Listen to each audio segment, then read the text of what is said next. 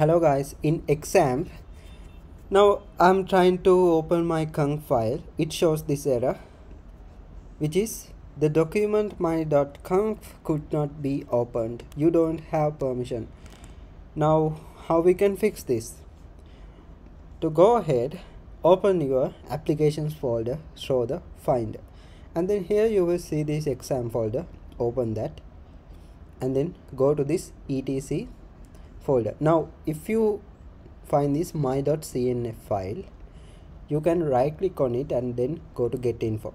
But the thing is if you try to just uh, allow this everyone into read and write still it is not working. Let me go ahead and show you. This shows you don't have permission.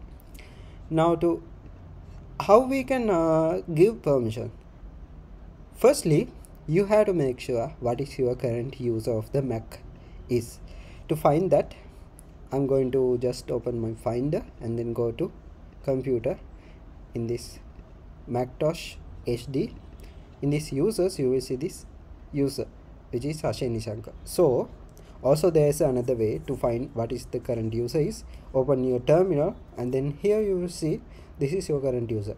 So here in this window let me go ahead and show you again.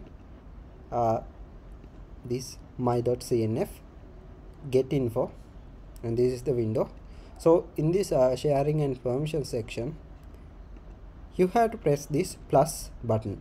And then here you will see your current user which is in my case Ashay Nishanka.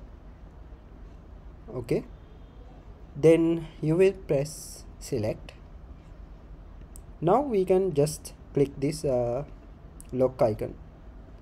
If you cannot press this button make sure you have unlocked this button by pressing this unlock button and then enter your computer password. So then you can press this plus button. Okay? And after that you can close this.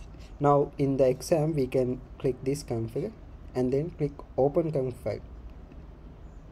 Now it is working also using the finder we can just open with the text edit.